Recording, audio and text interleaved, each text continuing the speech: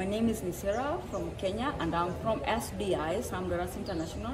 And uh, we are working very closely with uh, communities and uh, based on the current situation that is happening in Kenya, that is uh, the flooding and also the evictions in Kenya, we want to conduct a research based on uh, assessing uh, the needs of those people who are the victims of the flooding and um, the eviction.